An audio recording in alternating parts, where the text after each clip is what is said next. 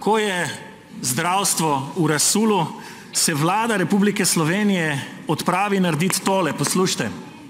Vlada Republike Slovenije je sprejela informacijo o nameravani postavitvi slovenskega božičnega drevesa na Trgu svetega Petra v Vatikanu konec leta dva dvajset.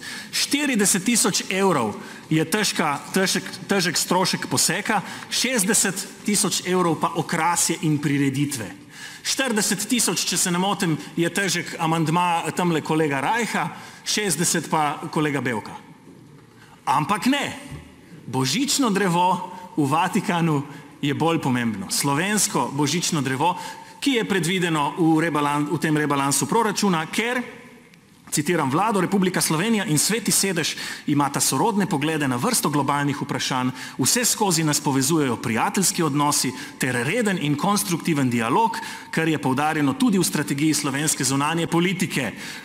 Pogledi, skupni pogledi na vrsto globalnih vprašanj, vseskozi povezovanje na prijateljskih odnosih in tako naprej za ceno dvesto osemdeset tisoč lačnih ljudi, shirane kulture, shirane infrastrukture, neskončne vrste za domove za starejše in zdravniške obravnave.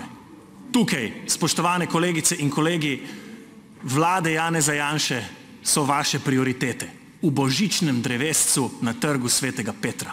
Hvaljen Jezus.